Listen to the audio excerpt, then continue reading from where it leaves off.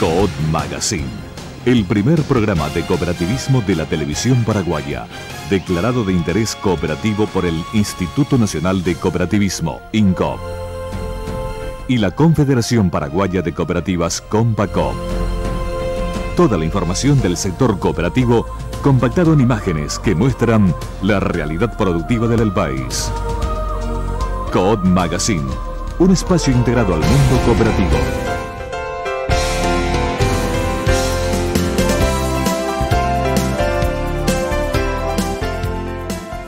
En el primer programa del cooperativismo de la televisión paraguaya les presentamos las principales actividades de la cooperativa 8 de marzo limitada.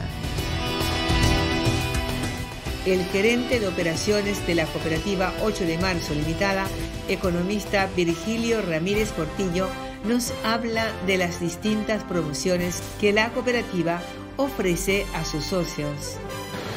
Actualmente la cooperativa 8 de marzo tiene una promoción que es para eh, socios categoría A excelente, B muy bueno y las demás categorías que es a partir de AB bueno, de C regular y de malo.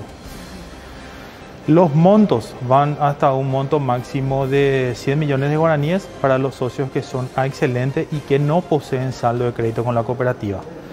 Las tasas para esta franja van de 7 a 19% y esos créditos que vienen los socios a solicitar se le dan en el momento o hay un proceso también de...? Es dependiendo del monto del crédito, eh, dependiendo. En el día es hasta 20 millones de guaraníes en efectivo.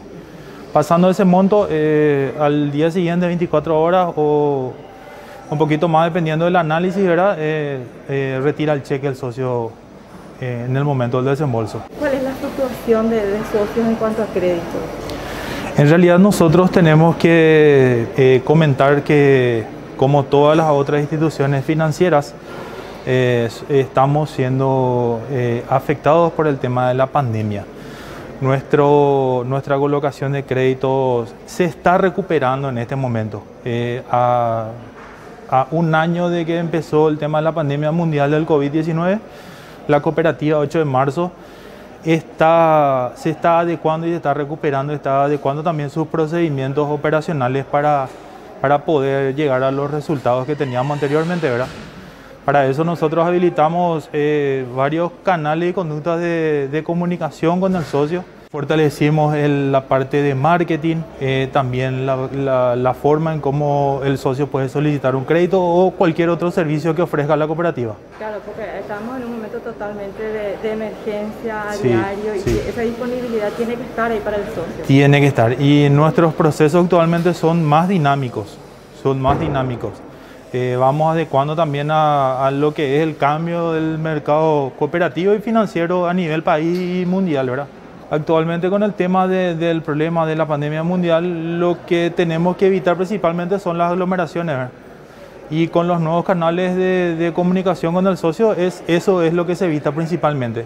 Y el tiempo de espera es el mismo, es el mismo, es más cómodo y el tiempo de espera para poder acceder a los servicios que ofrece la cooperativa es el mismo. Claro, el socio viene, firma sus documentos, ya pasa la ventanilla, entonces se agiliza todo. Exactamente, exactamente. En el momento de, que el crédito o de del que el servicio está aprobado, ahí se produce la firma y automáticamente se hace el desembolso o accede a lo que está solicitando.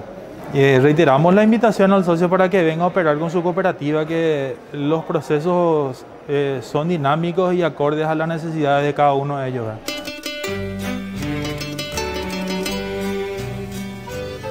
Llegamos al final de otra serie de viajes de Descubriendo el País para conocer un poco más nuestro Paraguay. Y nosotros nos encontramos en cualquier lugar.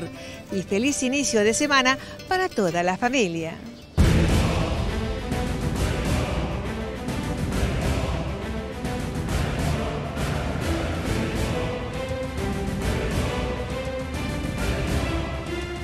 Blanca Marín presentó Descubriendo el País